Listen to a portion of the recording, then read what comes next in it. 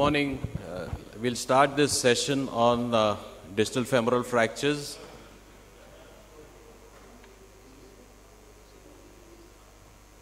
Yeah, thank you. The distal femoral fractures we know can occur in a wide spectrum of severity, and each of these fracture can be really challenging to achieve stable fixation.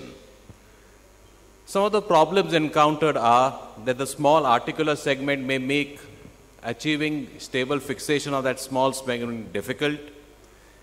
You may have comminution, which may be articular, which may be metadiaphyseal, or a combination of both. You may have significant soft tissue injury, especially if you have a high energy trauma. And in the elderly with a pre existing arthritis or the presence of an indwelling total knee can make fixation difficult. The traditional plating didn't give good results because they were not strong enough to avoid the varus collapse, resulting in non union malunions. There were also open surgeries and the problems associated with it. It was only when angle stable implants were introduced, and the, one of the first ones being the condylar blade plate, that we saw better results with fixation of the fractures. This was helped by improved surgical techniques where soft tissue dissection was minimized by indirect reduction techniques and less invasive procedures. And so much so that now, as of today, the lateral locking plate has become the standard treatment for a majority of the distal femoral fractures. With the improved biomechanical strength, it can resist varus collapse. More important, it gives you a lot more fixation options in the distal fragment and showed promising early results. But as with uh, many implants, on the longer follow-ups, we start getting problems. The major problem of the lateral plate is if you don't get your fixation right and make it too rigid, then the healing is very slow. And if you have a fracture which has comminution of the medial cortex, then that is going to put a lot more stress on your implant, resulting in early failures. So in such cases, if you can supplement your lateral plating with an additional plate applied on the medial side, it will restore the medial cortical buttress. It allows you to get a better reduction of your fracture and hence it enhances stability, improving healing. So does that mean that every lateral distal femoral fracture should have two plates? I think you need to be selective in which cases to apply the plates. Not all of them will require. If you have somebody with a good quality bone with an adequate uh, distal fragment giving you adequate uh, fixation, then you may get away with a single plate. But these are certain some of the indications where you may have to consider an additional medial plate.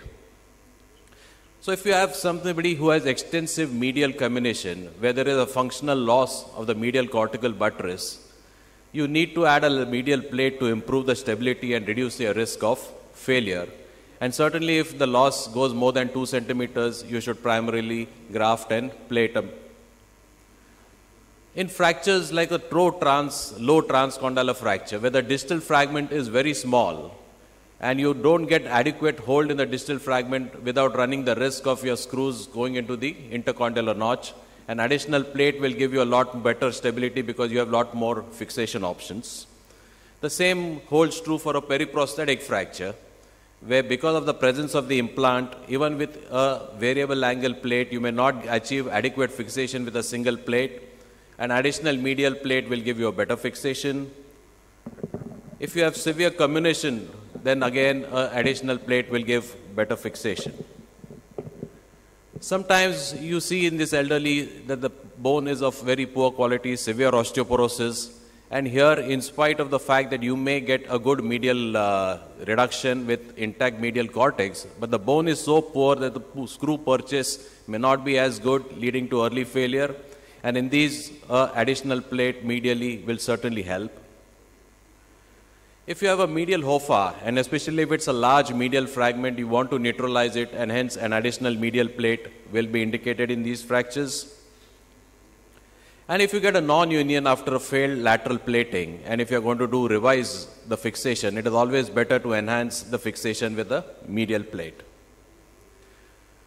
So a certain thing about the techniques, can, what approach do you use if you want to put two plates? You can always use a single anterior approach, which will be either medial or lateral parapatellar, depending on the fracture pattern. You may opt to use a separate lateral and a separate medial incision to foot the two plates. Whichever approach you use, you need to make sure that you minimize your surgical footprint and retain the vascularity of the distal fragment. You can do a primary medial plating doing at the same time as you do your lateral plating. And this is certainly indicated in the uh, subset of fractures that we just saw.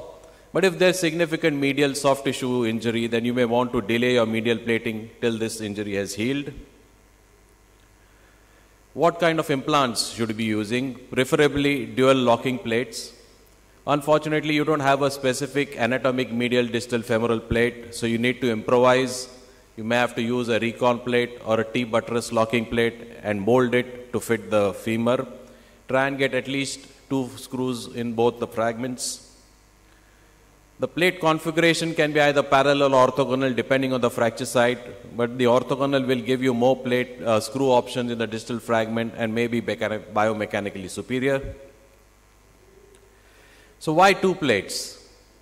Okay, adding, uh, adding a medial plate will improve your fixation because you've now restored the medial cort- cortical column and this will allow you to mobilize early and better rehab. Also, when you open medially, you can get a better reduction of the fracture, correct any translation or angulation, and this will help you with a high union rate. But it is not without its own drawbacks. As we said, if you do too much soft tissue dissection, you may disturb the vascularity. You may need to make additional incisions. If you do an open surgery like shown here, you're probably going to get a lot of knee stiffness. And because we don't have anatomic plates, you may get a poor fit to the patient anatomy, and these may cause soft tissue irritation later on for the patients. So, in cases where a medial plate is indicated but you're not unable to get a fixation, you may use an intramedullary nail or a uh, fibular allograft when indicated. So, in summary, a single lateral plate may have a higher failure rate in certain subset of distal femoral fractures Adding a supplemental medial plate will give you bicolumnar stability, thus reducing the risk of implant failure and enhancing union, but it will come at a cost of increased disturbance of the vascularity. Thank you.